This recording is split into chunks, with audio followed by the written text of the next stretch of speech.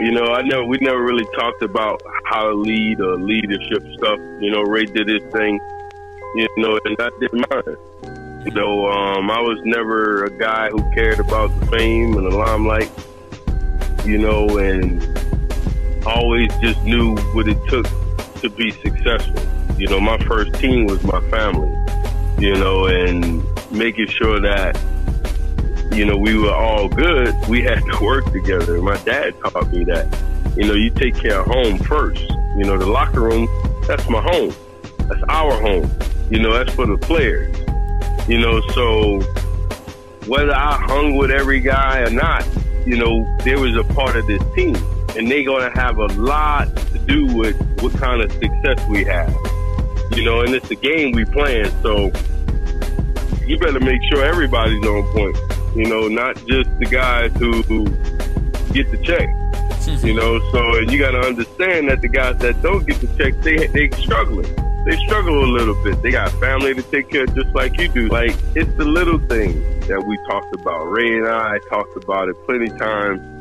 It's the little things, you know, that you need to do to win a championship. Your environment controls your success. You know, the people you surround yourself with it, it affects you. It controls, you know, what you're going to be doing, you know, years to come, days to come.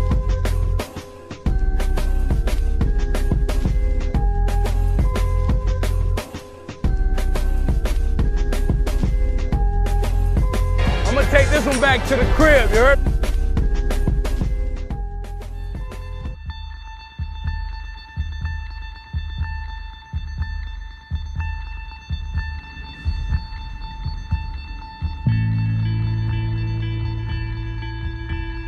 Here's the thing that makes life so interesting. The theory of evolution claims only the strong shall survive. Maybe so.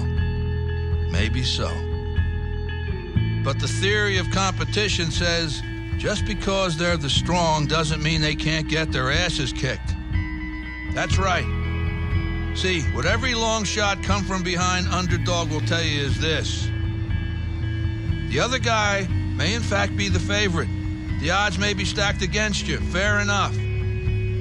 But what the odds don't know is this isn't a math test. This is a completely different kind of test. One where passion has a funny way of trumping logic. So before you step up to the starting line, before the whistle blows and the clock starts ticking, just remember out here, the results don't always add up. No matter what the stats may say, and the experts may think, and the commentators may have predicted, when the race is on, all bets are off. Don't be surprised if somebody decides to flip the script and take a pass on yelling uncle. And then suddenly, as the old saying goes, we got ourselves a game.